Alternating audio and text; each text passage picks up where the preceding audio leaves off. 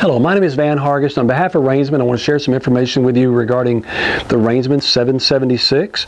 We call this an all-around three-piece sweet iron mouthpiece with a copper roller.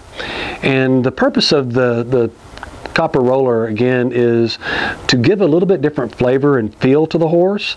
The fact that that copper is, is willing to roll and move uh, gives the horse a little bit of freedom of movement so he doesn't feel like his tongue is being trapped or confined. And that's also the same benefit of having the, um, the dog bone is for the same features, just for that freedom of movement with his, with his mouth so he doesn't feel quite so trapped and confined.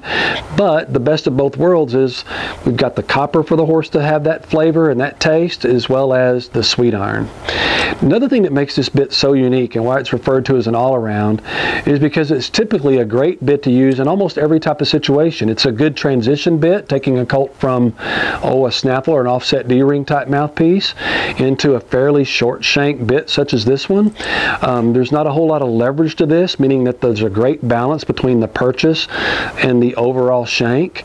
So as a, as a whole, I think this is just a phenomenal little bit to as a just a good little transition bit or just an all-around type of bit, hence the name, the 776 all-around bit by Reinsman.